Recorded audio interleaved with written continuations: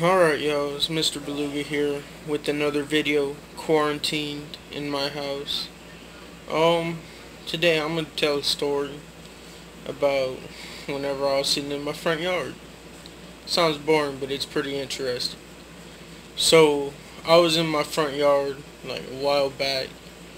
Probably last year, I think, actually. And, um, I'm chilling, listening to music, because there was nothing to do. Kind of like today, I guess and this dude walks by, right? Looks, I don't know, he looks weird, kind of sketchy.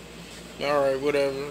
Kind of live like, in a not so good looking neighborhood. Like, he's good looking, but like, I don't know, it's kind of, I don't know, it's kind of weird. But anyway, he just walks by, and then maybe five, ten minutes later, same dude walks back, and he he starts walking back or whatever, and he starts walking towards me. I'm like, alright, I guess. Dude's kind of weird. I'm like, better not be asking for nothing crazy. Or wanting me to do anything crazy. And then, um, um, what's it called? He comes up to me, he's like, you have a change of clothes that I could have? I was like, what? And yeah, he looks and he's like, yeah, man, you got to change the clothes that I could have.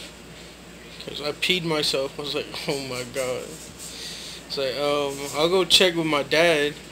And went and told my dad or whatever. Got him a change of clothes, and I guess he started telling my dad that he took a leak on himself. It's weird. So, um, yeah, that's basically it for quick little story. Haven't uploaded in a while. So, it's Mr. Beluga signing out.